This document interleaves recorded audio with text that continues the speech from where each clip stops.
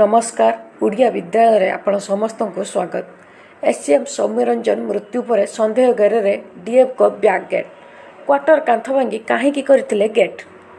ACF Soumyaranjan ମହାପାତ୍ରଙ୍କ ମୃତ୍ୟୁ ପରେ ଯେଉଁ ସନ୍ଦେହ ଘରରେ ରହିଆସିଥିବା ଡିଏଫ୍ଙ୍କ ବ୍ୟାକ୍ ଗେଟ୍କୁ ନେଇ ଏବେ ଚର୍ଚ୍ଚା ଆରମ୍ଭ ହୋଇଛି।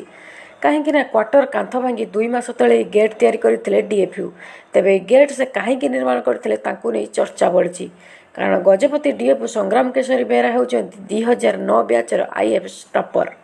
ରେଡ଼ାଖୋଲ ପରେ ଗତ ଜୁଲାଇ ଦୁଇ ହଜାର କୋଡ଼ିଏରେ ଗଜପତି ଡିଏଫ୍ ଭାବେ ଯୋଗ ଦେଇଥିଲେ। ସଂଗ୍ରାମ କେଶରୀ ଆଉ ଏସିଏଫ୍ ସୌମ୍ୟରଞ୍ଜନ ମଧ୍ୟ ସେହି ଦୁଇ ହଜାର କୋଡ଼ିଏ ଜୁନ୍ ମାସରେ ଯୋଗ ଦେଇଥିଲେ। ତେବେ ଡିସେମ୍ବର ମାସରେ ସୌମ୍ୟ ବିଦ୍ୟାଭାରତୀଙ୍କୁ ବିବାହ କରିବା ପରେ ଡିଏଫ୍ କ୍ୟାମ୍ପସରେ ଥିବା ଏସିଏଫ୍ଙ୍କ ସରକାରୀ ବାସଭବନରେ ରହୁଥିଲେ। ଏସିଏଫ୍ ରହୁଥିଲେ ସୌମ୍ୟରଞ୍ଜନ ଆଉ ବିଦ୍ୟାଭାରତୀ ତ ଆଉ ସେଇ ଏସିଏଫ୍ କ୍ୱାର୍ଟର ଆଉ ଏହାର ଠିକ୍ ଆଗରେ ରହିଥିଲା ଡିଏଫ୍ ବିଳାସପୂର୍ଣ୍ଣ ସରକାରୀ ବଙ୍ଗଳା ଯାହାକୁ ନେଇ ଏବେ ଚର୍ଚ୍ଚା। ସନ୍ଦେହ ହେଉଛି ସୌମ୍ୟଙ୍କ ବାସଭବନକୁ ଯାଉଥିଲେ କି ଡିଏଫ୍ କାହିଁକିନା କିଛି ଦିନ ପୂର୍ବରୁ ସୌମ୍ୟଙ୍କ ସହ ଗଣ୍ଡଗୋଳ ପରେ ଶଙ୍ଖା ସିନ୍ଦୁର ଭାଙ୍ଗି କେଉଁଆଡ଼େ ଚାଲି ଯାଇଥିଲେ ବିଦ୍ୟାଭାରତୀ। ଆଉ ତାଙ୍କୁ ସେ ଜଙ୍ଗଲ ସାରା ଖୋଜି ଖୋଜି DF Soumyaranjan sorry ACF Soumyaranjan ଖୋଜି ଖୋଜି ଡିଏଫ୍ଙ୍କ ବାସଭବନରେ ଠାବ କରିଥିଲେ। ନିଶ୍ଚିତ ଭାବରେ ଏହି କଥାକୁ ନେଇକି ବହୁତ ପ୍ରକାର ଡାଉଟ୍ ବଢ଼ି ଚାଲିଛି। ବହୁତ ପ୍ରକାର ପ୍ରତ୍ୟେକ ଦିନ ଗୋଟେ ଗୋଟେ କ୍ଷୀୟ ବାହାରୁଛି ଯାହାକୁ ନେଇ ସନ୍ଦେହ ବଢ଼ି ଚାଲିଛି।